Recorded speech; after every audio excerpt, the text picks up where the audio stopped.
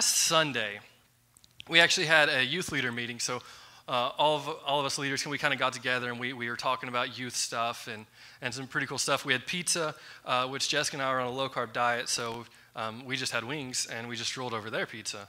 Um, and then they had the audacity to eat some of our wings. Sam more than anyone else.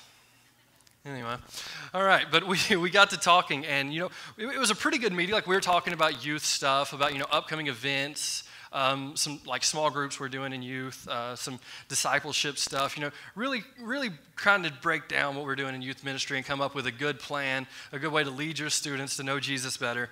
And and and suddenly the conversation just turned serious. It got really like dark, you know. In one of those moments when you're talking, all of a sudden you can hear like a pin drop. A debate started over a very serious topic. Which is better, Star Wars or Lord of the Rings? I, I mean, I wasn't really even in this because that's not my, not really either of those are my category, but just, just for the sake of uh, to solve this debate, raise your hand if you think Star Wars is better. Oh, man, Sam, I think you lose. All right. All right, raise your hand if you think Lord of the Rings is better. Okay. All right, all right. Um, Okay, so it was actually about even. Uh, most of everyone just doesn't care, so we were just talking about nothing. Okay, so it's cool. And I would say that just for me personally, because of my age, like don't don't hate me or anything. It's what I grew up with. I, I'm I'm more of a Harry Potter fan. I know I know this is church. I can't say stuff like that. But, but it came out when I was like 11. It ended when I was like 21. That was my childhood, right? Um, so th- that would be what, what I would say. But I think we can all agree on one series that trumps them all right? I think we can all agree on, on one like fantasy series that is the greatest of all time. And that is none other than the chronicles of narnia. Can we agree? Can we just agree that is the best? It's i mean book wise anyway movies eh, you know but the books were amazing right? Okay good. I'm glad we're all christians here and we can say that chronicles of narnia is the best right? Because that's I mean, it was written by C.S. Lewis. That makes it basically the Bible, right? Because C.S. Lewis wrote all the amazing stuff about the Bible. Um, so I, I, would have to go out and say that Chronicles of Narnia is the best. And uh, for that sake, I'm going to actually be uh, preaching from The Magician's Nephew. Don't worry, my Bible's over there. I'll use that too. I'm not a heathen. Um, but I do want to bring out a very interesting story in this. And, and these books are so good that I started studying for this and I got Jessica interested in them again. And in the last three days, she's read three of these books, like one book a day. I don't know where she's been. I haven't seen her in three days, but, but I hear the books are great, right? Um, but they, they are fantastic. So if you're not as familiar with the Bible of Narnia as I am, I'll give you a little backstory here on what's about to happen. Um, so this particular book, this is the first book. If you say anything different, you're wrong, okay? Um, backstory on that for those of you that didn't get it. This is the sixth book written, but when C.S. Lewis wrote The Lion, the Witch, and the Wardrobe, that was his only book he'd planned on writing. And then it was so popular, he kept writing and kept writing and kept writing until he wrote this, which is the prequel. But he did say in a letter to a kid that the correct order should be chronologically with The Magician's Nephew being first. That was a whole bunch of nerd history that you probably didn't care about, but you get it now. You're welcome. So, the Magician's Nephew, the first book in the series, is about three main characters. We have Polly Digory uh, their brother and sister, and then we have Uncle Andrew. Now, Uncle Andrew is a magician, hence the magician's nephew, right? So, Uncle Andrew is a magician, and he's just, he's kind of like a cruel, really selfish guy. He's all about, you know, succeeding. He's all about looking out for, you know, numero uno. That's, that's all Uncle Andrew cares about. And, and in the story, Uncle Andrew creates these two rings. Now, he believes these rings, one ring will send the children to another world, and the other ring will bring them back. That is his theory. He then sends these children to another world, and they enter into a, a world called Charn. And now, while they're in Charn, everything is empty and everything is dead. There's nothing living there until, there's always an until in one of these stories, right?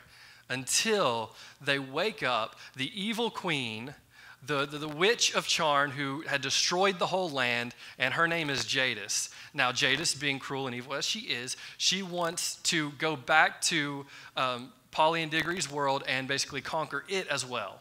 Um, so she forces them to take her back to their world, and in a weird series of events, she like destroys most of the world, and uh, they they get her back to Charn with Uncle Andrew, a random horse, and a cabbie. Um, they they kind of get them all back to Charn, and while they're in this other world, they're trying to escape from Jadis, so they jump into a pond and they enter into another world. Now this is where the story gets good, right? You've read like three quarters of the book, but it gets real good right here. They enter into this other world and all around them, all they can see is black. It's dark. There's nothing. But they begin to hear a faint song. Man, I'm just now thinking about been cool if I had them play a song.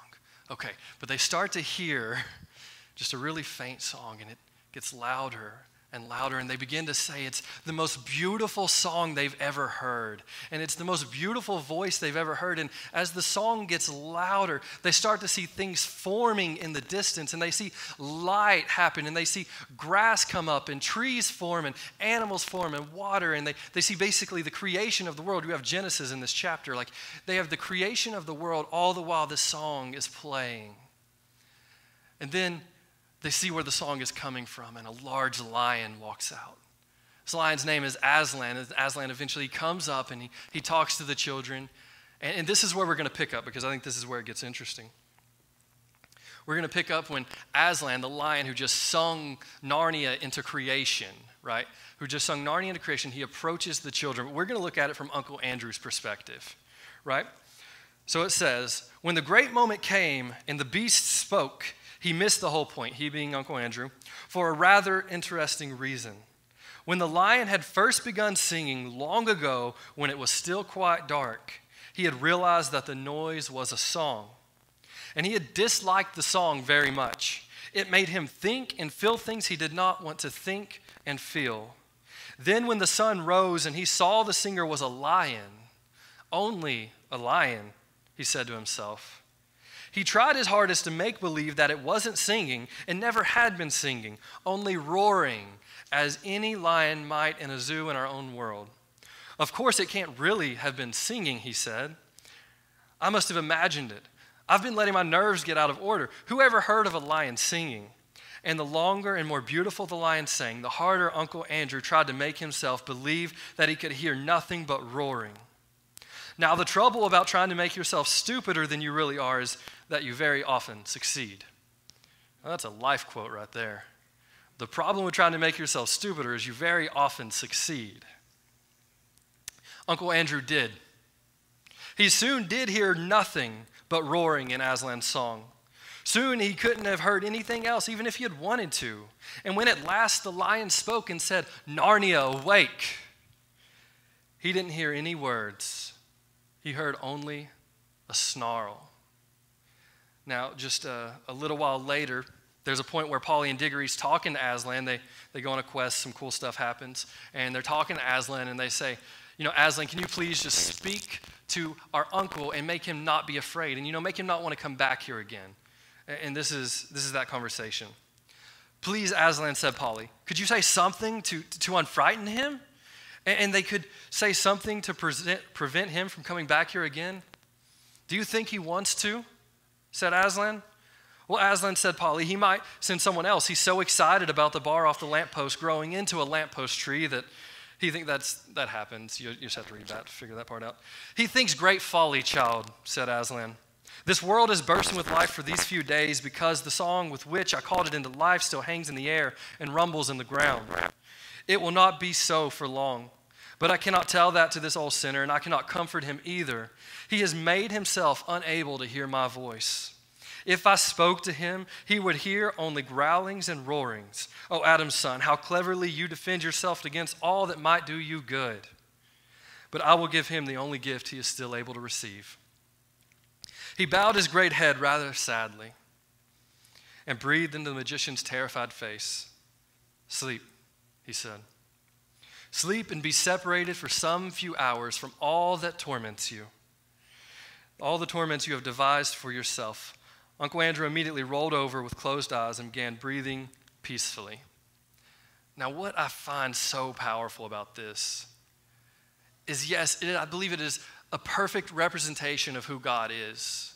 That when it says that Aslan looked sadly, because he's seen that Uncle Andrew can no longer hear his voice. I believe that's where God is. That, that, that is the character of God. God is so loving, God is so great, and God is so mighty, but He knows when we no longer hear His voice. But I think if we look close enough, we can see ourselves in those pages. And sadly, for a lot of us, myself included, a lot of times I can see myself more in the shoes of Uncle Andrew. That I get to where I can no longer hear the voice of God.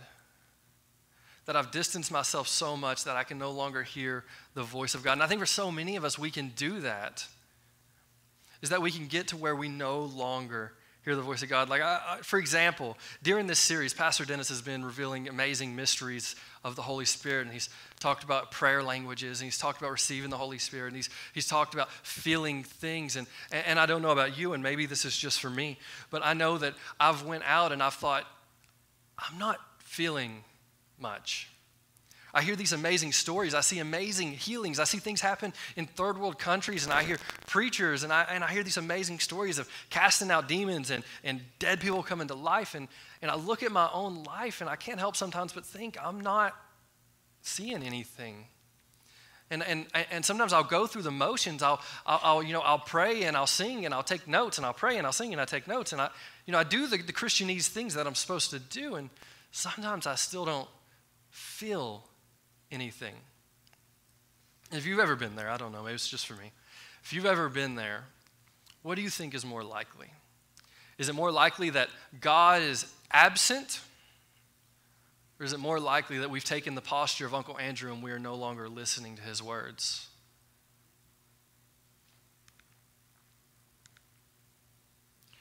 Which is more likely, that God is absent or that we're not listening? That we are not listening. One of the most convicting sermons I've ever heard, Pastor Dennis, when we first started coming to church, he was going through a series on Romans. I'm sure many of you remember it. And I think very early on, he preached, I, I believe, primarily on Romans 124, because that's all I really remember. Um, but I remember him preaching on this scripture and it just suddenly hitting me and, and eventually convicting me of my own sin. Romans 124 reads like this. Come back here. This thing's not been my friend today. Therefore, God gave them over in the sinful desires of their hearts to sexual impurity. And I remember preaching very specifically on, therefore, God gave them over to their sin. It's not exactly something we like to think of. God gave them over to their sinful desires of their hearts to sexual impurity. For the degrading of their bodies with one another, they exchanged the truth about God for a lie and worshiped and served created things rather than the Creator, who is forever and ever praised. Amen. But I remember coming to a, what I believe was a shocking revelation for myself is that God, in Romans, it says God allowed them to remain in their sin. And it, it took a while for me to realize that the reason God would do such a thing is because God is a perfect gentleman, right? God is never going to force his will on you, right? He, he's waiting for you, right? You see, if you, you consistently choose sin, if you consistently go in the direction away from God, I think God is going to go, okay, Child, that's not the right direction. That's not where you should go, but it's your choice. And God gave them over to their sins. And I can't help but think that in these moments where, where we feel nothing, where we experience nothing, and where we go through the actions, we pray, sing, hope, pray, you know, we go through all the actions and we feel nothing. Is there something holding us back? Is there something that God has given us over to? He says, Child, you keep choosing that sin more than me. Okay, it's yours. How long have we chosen our sin over His Spirit? How long have we chosen His sin, or How long have we chosen our sin over His Spirit? So I want to I want to give just one little quote. Basically sums up this entire message. That if you remember nothing else, that you write this down, you tweet it or something, and you remember this. We walk away from the Spirit when we refuse to walk away from our sin. Right? We walk away from His Spirit when we refuse to walk away from our sin. They are polar opposites. In the pa- passage I'm going to read, you'll see they are polar opposites. You cannot walk both in the Spirit and in sin. We are always choosing one or the other. So when we refuse to walk away from our sin, what we are really doing is walking away from God's Spirit. And I'm not going to say this is always the case. I don't like generalities, but a lot of times when, I, when I've spoken to people who have, who have left the faith for whatever reason, this is, again, not always the case. Everyone has their own unique story, but a lot of times this is the case. That a lot of times we love our sin and we love our fun and we love our freedom so much that we have dove in and fallen so far in love with it that we can no longer hear the voice of God. So, yeah, God does seem like a myth because we can no longer hear his voice because we are so overcome in our own sin, that we are so overcome and so all we can hear is the world and the fleshly desires that we've surrounded ourselves with. And again, I'm not going to say it's always the case, but a lot of people who left the faith that I've talked to, that seems to be the case, is they wanted the freedom to sin, whereas biblical freedom is freedom away from sin, not freedom towards sin. So, how long have we chosen sin over His Holy Spirit? I want to read to you today the text that I'm going to kind of park in and, and talk about is in Galatians 5. And Paul says this So I say, walk by the Spirit, and you will not gratify the desires of the flesh. That one broke on me last time. One moment. So I say, walk by the Spirit, and you will not gratify the desires of the flesh. For the flesh desires what is contrary to the Spirit, and the Spirit what is contrary to the flesh. Get that one more time. For the flesh flesh here. So if we break that down, what that Paul's really talking about is our sinful desires. So when you hear the word flesh, it's not flesh and bone, it's our sinful desires. Our sin desires what is contrary to the spirit, and the spirit what is contrary to the flesh. They are in conflict with each other so that you are not to do whatever you want. But if you are led by the spirit, you are not under the law. Now, the Acts, I think, is on here. Yep. The acts of the flesh are obvious sexual immorality, impurity, debauchery, idolatry, witchcraft, hatred, discord, jealousy, fits of rage, selfish ambition, dissensions, factions, and envy. Drunkenness, orgies, and the like. I warn you, as I did before, that those who live like this will not inherit the kingdom of God. But the fruit of the Spirit is love, joy, peace, forbearance, kindness, goodness, faithfulness, gentleness, and self control. Against such things there is no law. Those who belong to Christ Jesus have crucified the flesh with its passions and desires. Since we live by the Spirit, let us keep in step with the Spirit. Let us not become conceited, provoking, or envying each other. Now, I have personally read this passage countless times did the Sunday school thing, I remembered the, my memory verse of love, joy, peace, uh, love, joy, peace, hope, kindness. I apparently didn't remember it very well. Um, but you know, love, joy, peace. We all remember the fruit of the Spirit, right? Because that's the feel good one, right? because we remember the fruit of the Spirit. But when you break down this passage, what Paul is doing is he's actually creating a comparison.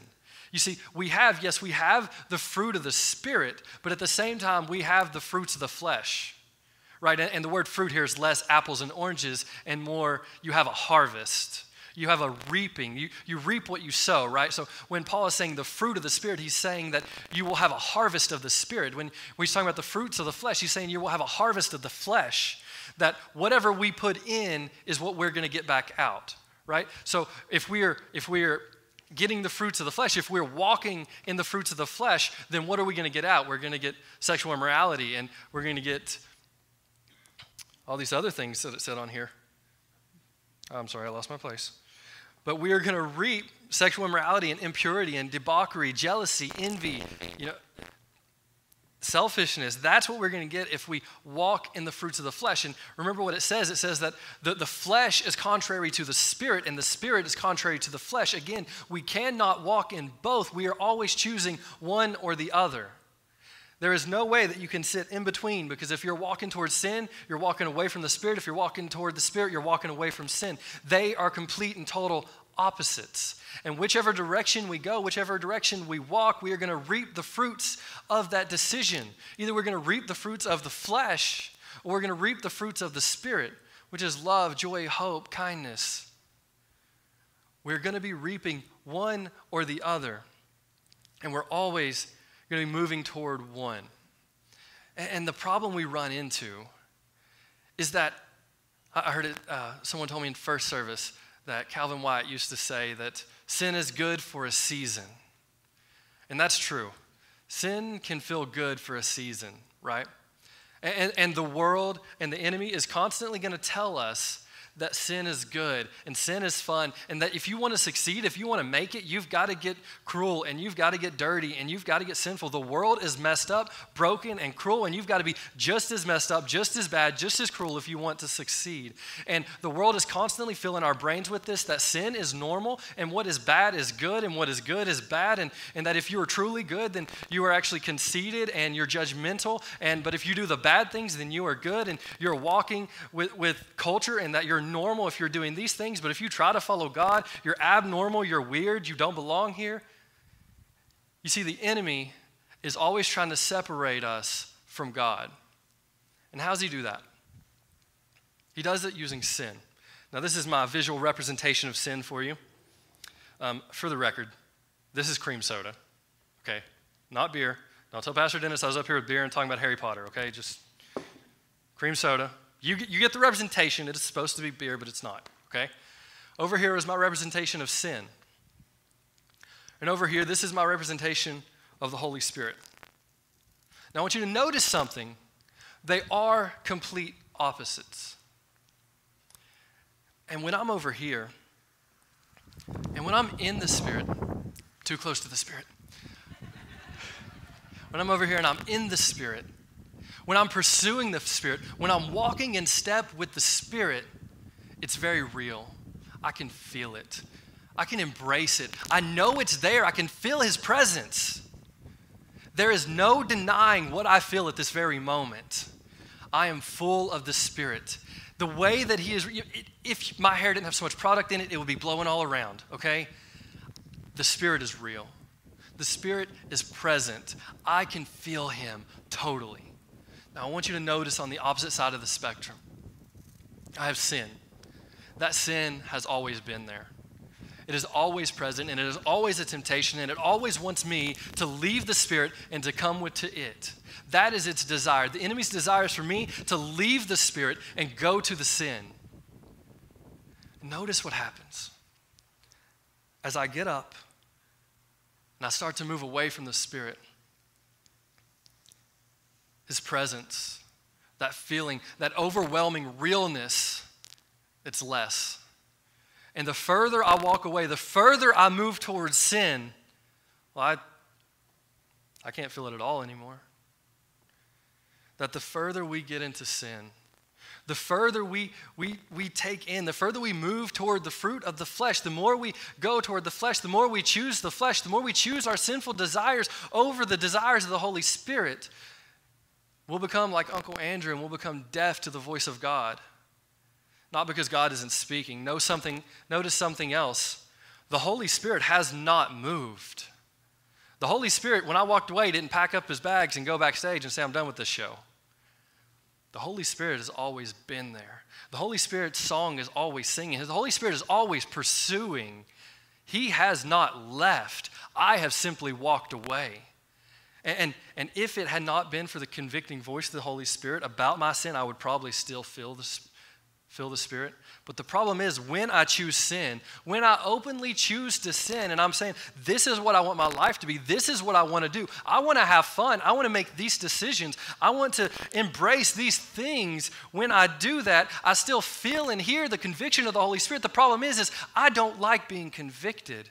So, so often we'll start to tune out. Uncle Andrew says he heard the song, but he did not like the way the song made him feel. We won't like the way the Holy Spirit makes us feel when we are in sin. So we will tune out the voice of the Holy Spirit. We will tune out the voice of God until we no longer hear His voice and we become deaf to Him. And it's all because of the direction I took. I could turn and walk back, but when I walk away from the Spirit, I just I can't feel it anymore because I'm so consumed with my sin. I'm so consumed.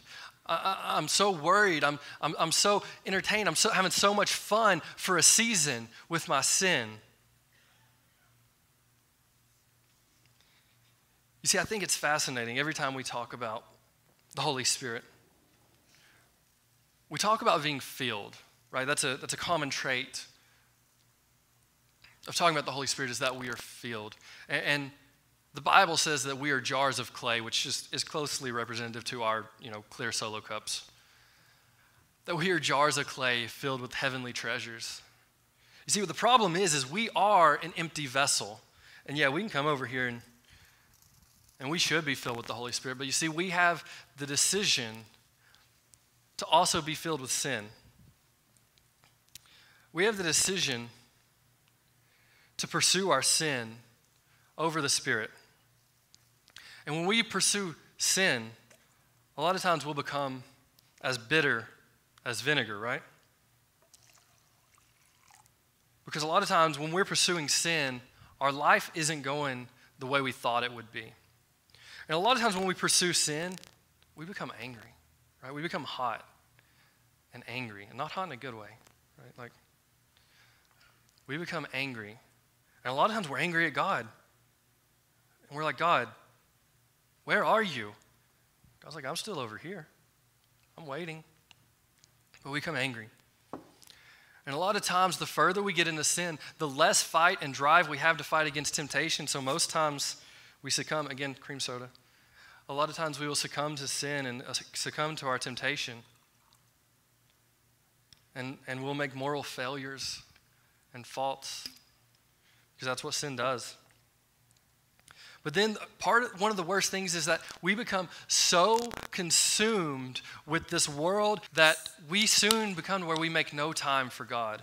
We're so consumed with the things we have to do that we soon stop making time for God and we run out of energy because we've burnt up all our energy reserves on all the other things we have to do and didn't focus on God. And so we're just simply out of energy.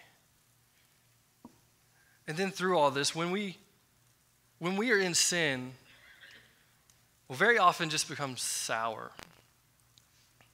When something's sour, it's. Have you ever had milk go sour? It's not good. It's good for nothing, right? So often we're just so encompassed with sin, we get to a place where we're just we're just sour. And when you combine all that sin, because we are vessels, the Bible clearly says we are vessels, that we are full of something. And we have the choice. We can, consider, we can continue to fill ourselves with sin, and we'll end up with something like this. That's not good. That is not good at all. This is what sin looks like. This is what sin feels like. Not good. Don't worry. I brought an Altoid in case you wanted to pray with me afterwards. Uh, that's not good, guys. I'm going to be straight up. That was bad. That was worse than first services. I had a little more vinegar in that one. So, yeah, it's bad.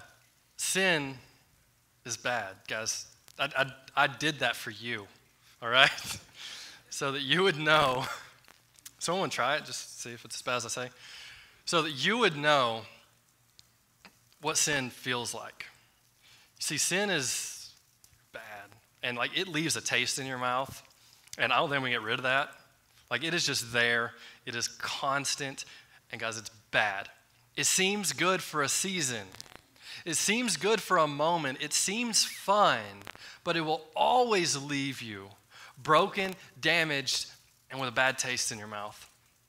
That is simply what sin does. But so often, this world and the enemy, it tries to convince us that sin is good, that sin is normal, that sin is necessary, that sin is just what you do. And so often we fall in that trap and we pursue sin over the Spirit. So often we pursue our sin over the Spirit, and again, guys, it'll leave you empty and broken with a bad taste in your mouth. And it tries to convince us that it is what is good, it is what is necessary, it is what is holy.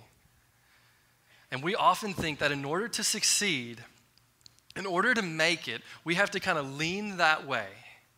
But in Mark 8:36 it says, "What good is it for someone to gain the whole world yet forfeit their souls?" What good is it for us to succumb to sin, to keep going with sin and forfeit our souls? Now the Holy Spirit is still present. Just a little loud.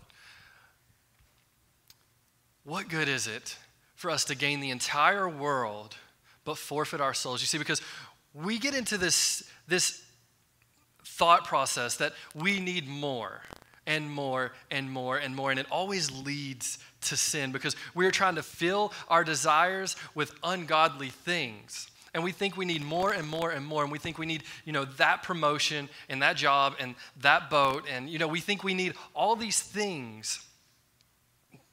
But it'll never be enough. We will never be able to fill our vessels and fill complete if we only put in sin. Sin is not good, it's actually quite bad.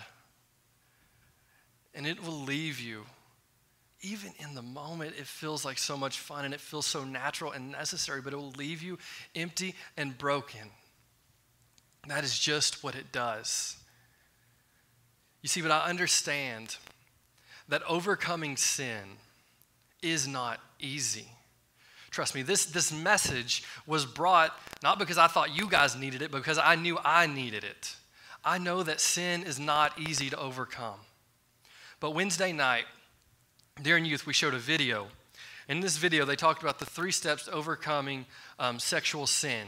But as I listened, I thought it was so relevant and so applicable to this message here today that I was up until like 1 a.m. writing it. And it's cool. There was enough energy drinking that to get me through, I think.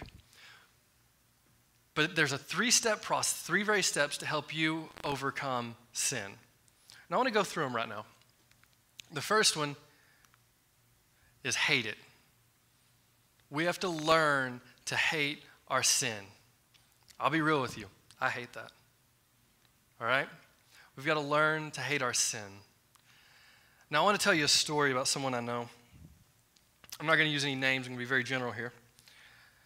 But a, a close friend of mine used to love smoking. That was their thing. They loved cigarettes. That they loved smoking until one day, every time they would smoke a cigarette, they would get deathly sick. Like vomiting, the whole thing, just sick as you can imagine, it did not take long for this person to start to hate cigarettes, in which it made quitting very easy. And we, it comes to find out that a very close friend was actually praying that they would begin to get sick every time they smoked a cigarette. A prayer was answered, and we all need a friend like that, right? But when we learn to hate our sin, and it's hard, I know it doesn't feel natural because a lot of times we've come to love our sin. We've come to love our actions, love the things that we're doing because in that season they're fun. But if we could just look at it and say, what's that doing to me? What is that doing to my character? What's that doing to who I am? What would that do to my loved one if they knew? What would happen if all my friends and peers knew about that sin that I'm hiding in the dark? What would happen? What if we asked ourselves, what is the reality of this sin? What, was, what is it actually doing? What is it actually accomplishing? Is there anything positive coming from these decisions I'm making? Do I realize that that sin put Jesus on the cross? If we can come to hate our sin, we're one step further in overcoming it. The next step is that we've got to starve it. Now, starving it is incredibly practical. It's, in the Bible, it says that the path or the road to destruction is wide and the gates are open.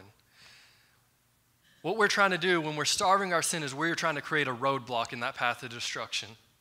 We are very really meaning put a physical barrier in our path. And for you, that may be looking like deleting social media, at least temporarily deleting the internet. Or it could be to quit hanging out with those friends that every time you're with them, you do something stupid. It could be leaving that significant other that's always pressuring you. You just guys can't get past the temptation. This is very real. If you are going to starve out your sin, listen, you, you cannot defeat something you are constantly in right? You cannot defeat sin if you're constantly living and walking in that sin. You've got to learn to separate yourself from this. And this is where it gets very practical because Jesus says that we are to flee from temptation.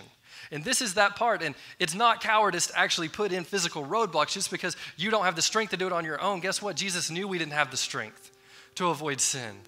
We don't. Sin is powerful, sin is addictive. We've got to find a way to starve out that sin so that we can start back on the path of righteousness.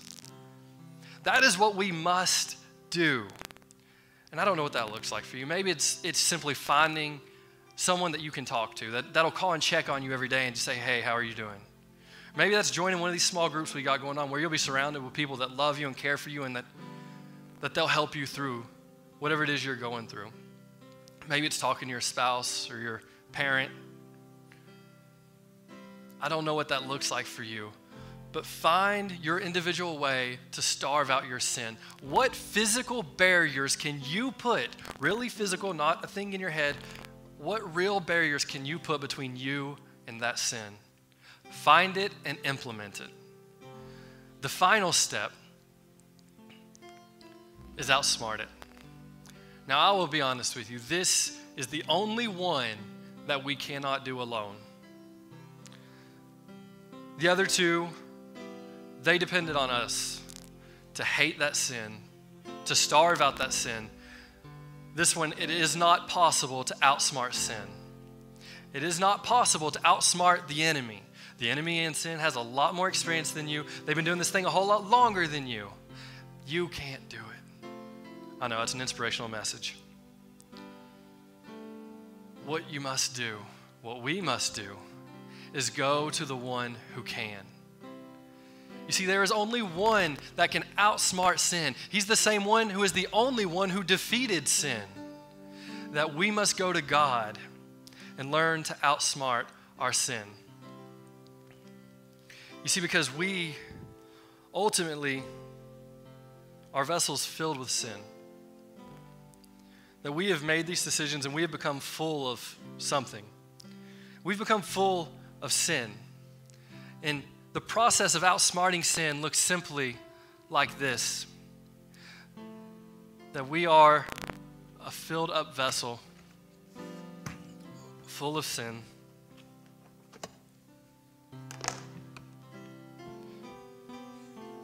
But instead of remaining that vessel full of sin, we start to let the Holy Spirit pour into us. And we start to be filled not with sin, but with the Holy Spirit. And we do that with everyday decisions, with everyday movements, with everyday actions. That today we're going to pray a little more. And today we're going to read our Bible a little more. And today we're going to talk to someone about that sin we've been having Today, we're going to open our minds to the leading and guidance of the Holy Spirit. And that we're going to do this step step at a time. I'm telling you, this is not a sprint, it is a marathon, but we constantly become filled with the Holy Spirit, that we constantly let the Holy Spirit pour into us, and that we constantly seek and pursue and again, it's not going to happen in one day. It's going to be a lifelong journey. But if we keep taking in the Holy Spirit, if we keep letting the Holy Spirit pour into us, if we keep in His Word, if we keep praying, if we keep pursuing, if we keep walking away from our sins and instead walking toward the Holy Spirit, very soon, we're not a vessel of sin. Sorry, guys, that vinegar smells awful. And I'm not saying we're going to be perfect. We're not Jesus. And there's probably going to be some times that we're going to pour some more sin into this and we're going to mess up and we're going to fail. That's not the end of the race. When you get saved, when you accept Jesus, it's not over, it just began. We have to keep pursuing and keep filling.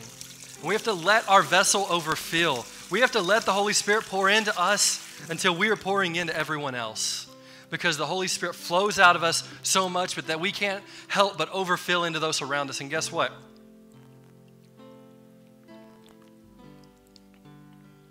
That's good.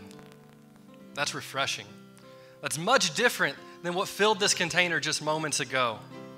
That is the complete opposite of what filled this container just moments ago. We are vessels of sin, but we must not remain vessels of sin. That is not the call and the plea of Jesus on our life. No, God has a purpose, God has a plan. We are not meant to remain in sin. Yes, there are times where we will fail and we will mess up, but that is not the intention. The intention is that we will flee from sin and we will pursue the Holy Spirit. That is the intention and that is the possibility. And that is what God wants for our lives. That we will not remain in sin. Yes, we will mess up. None are perfect. Remember, Jesus died not because we were perfect little happy humans. Jesus died because we were broken, messed up, sinful creatures. That is why Jesus died, but Jesus died so that we would not remain that way. Jesus died so that we would not be vessels of sin. Instead, we would be vessels of righteousness, that we could take His Spirit, that we could accept His Spirit, that we could follow Him, and we could do amazing things through Him. That is why Jesus died, was to cleanse our sin, not for us to remain in them. Yes, we have messed up. Yes, we have made mistakes. Yes, we have sinned, but we are not intended to remain in that sin. That was never the intention for our lives. We were called for a greater purpose than that. We were called to not be deaf to the voice of God, but to flee from our temptation and to pursue the Spirit with everything we have. And that looks very practically like reading your Bibles and praying. And every time something happens, when you lose your glasses, you go to God in prayer. And every time something goes on, every time a friend has a problem, every time life happens, we go to God in prayer and we go to Him in His Word, and we are constantly filling ourselves. Our vessel is constantly being filled with the Holy Spirit. It is then that we are no longer a vessel of sin, but we are filled with the Holy Spirit. And it is then that I believe that we will hear the voice that has been there the whole time. It is then that we will receive His Spirit, we will get His gifts. It is then that we will be able to listen and understand. And I'm sorry if this message seemed mostly negative, but I had to get us through that until we could get here so that we could understand this thing is that none are perfect, none are broken. I'm sorry, but none of our cups look like this. Our cups probably look a little more like this. And we're trying and we're fighting. But I know for so many of us, we think that we have messed up too much, that we are too far gone, that our vessels are too full of sin, that there is no redeeming us, that maybe we don't even hear the voice of God anymore, and that's because God has abandoned us. But the Bible says that God will never leave you nor forsake you. He has not left your presence, He is still there waiting for you to turn back. His voice is still ringing, His song is still playing. He is still crying out for you, child. Turn away from your sin and follow me. That is what the Holy Spirit is all about. Is for you to turn and to follow him. That you would turn and you would come to Jesus. No matter your sin, no matter your pain, no matter your imperfections, no matter what you've done, God has never left you, nor will He ever forsake you. He knows who you are. He had a plan and a purpose for your life before you were born. That is who you are, because our God is that amazing. For us to fulfill our calling, all we've got to do is turn from our sin and pursue Jesus and pursue the Holy Spirit. I just want you to know wherever you're at, whatever this vessel looks like, you're not too far gone. God has a purpose, God has a calling. However full of sin you think, however impossible you think it is that you'll make it out of this moment, know that you're not too far gone, that the Holy Spirit is still present. He is the God of now. I know so often we think it would have been amazing to walk with Jesus, and I can't wait until I get to heaven. I'm walking with the Father. Yet we have the God of now here in our presence with us. The Holy Spirit is not waiting to meet us, He is in our midst with us. He's waiting to come into us for us to follow Him. He is that God of now. That He is here with us and He is waiting for you, and you are never too far gone. I know that sin can seem like it's impossible to overcome, like you'll never get it right, you'll never get it together. I'm just too broken, I'm messed up, that's just who I am. That is not who you are. You are a child of the living God, and He loves you, and He is pursuing you, and He is waiting for you. What the Holy Spirit does, even when we are in the midst of sin, He waits patiently, He pursues diligently, and He forgives completely. That is who God is. And I want you to know, wherever you are on this spectrum, that you are not forgotten. However messed up it seems, however broken you feel, however overpowered you feel, it's not over. God is with you and God is on your side. Turn away from your fleshly desires, turn away from what is contrary to the Spirit, and pursue God. He loves you and He wants that relationship with you. Let's pray. Lord, I thank you so much. I thank you so much for this day. I thank you so much for these words. God, I pray today over everyone here that you would lay your spirit on them, Jesus, that you would give them strength, you would give them courage, that we would have the power and the strength and the will, God, to, to hate our sin, to starve that sin and Lord, to pursue you, to outsmart that sin, that we would go each and every day, each and every moment, we would continually fill ourselves with you so that we would not be a vessel of sin. Instead, Lord, we would be a vessel of your Holy Spirit. To the amount that it pours out, and that we go out making, making disciples of all nations. That your spirit overflows out of us to such an extent that those around us can't help but feel it, to experience it, to know your presence just because they came into contact with us. That when our shadows fall over people, they feel your presence. Lord, I pray that you would fill us. God, that you would use us. God, help us to build your kingdom. Lord, you know our pains and our struggles. You know what we're going through today. Lord, I pray that you would lay your spirit of comfort on each and every person here. Lord, we love you. In Jesus' name.